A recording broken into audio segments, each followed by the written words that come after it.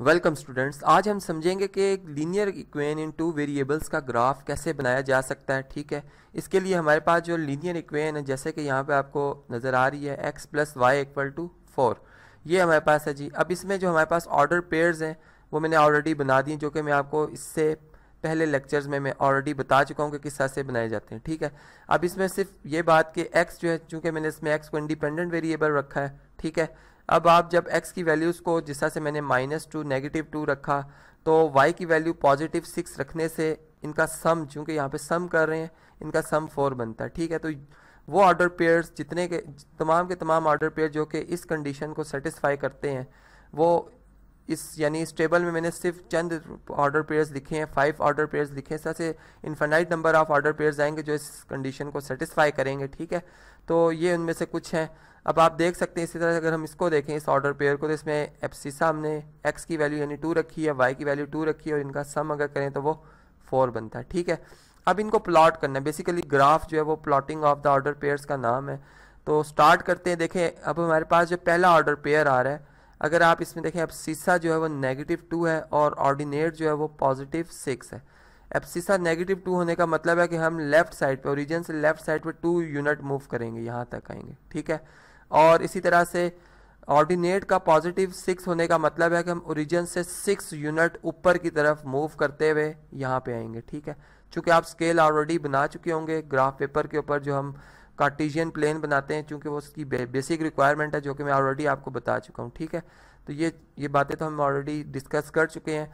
तो इस हिसाब से जब हम देखेंगे तो हमारे पास जो पॉइंट पी वन की पोजीशन बनती है एग्जैक्ट वो बनती है जी, यहाँ से हम ज़ीरो से लेफ़्ट साइड पर माइनस टू यूनिट मूव करते हुए अपवर्ड मूव करते हुए सिक्स यूनिट जब यहाँ पे पहुँचेंगे तो ये बेसिकली इसकी पोजीशन है, जिसको मैं पी वन से रिप्रेजेंट कर दूँगा, ठीक है?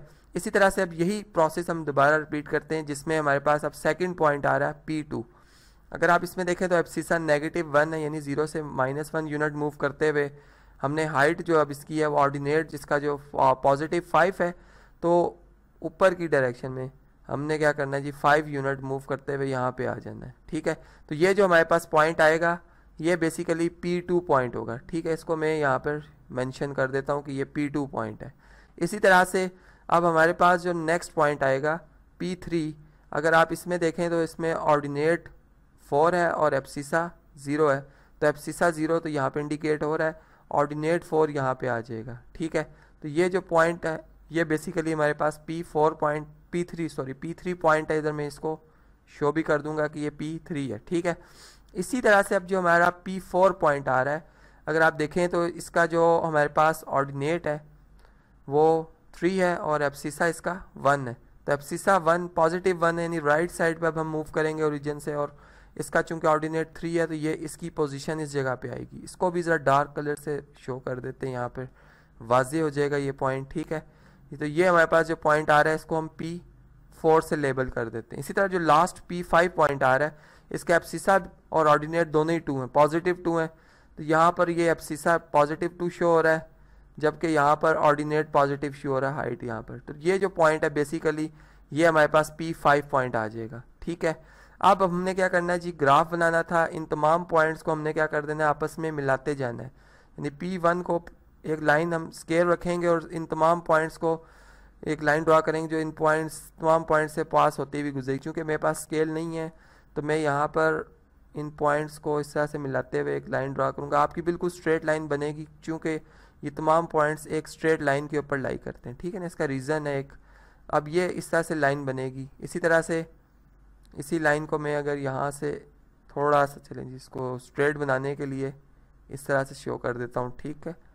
तो ये जो हमारे पास लाइन है, ये बेसिकली ये ग्राफ है किस इक्वेन का, जिसकी इक्वेन हमने लिखी है एक्स प्लस वाई ठीक है? इसको चलिए यहाँ मैं लिख देता हूँ X plus Y equal to four तो ये उसका ग्राफ है। बेसिकली आज के इस टॉपिक में आपने देखा कि ग्राफ कैसे बनाया जाता है और ऑर्डर पेयर को कैसे प्लॉट किया जाता है।